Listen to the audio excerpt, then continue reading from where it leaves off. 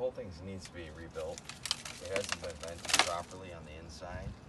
So all the moisture and everything has just been collecting on the inside of the chimney and it's worn away and caused the decay of the mortar joints and the brick.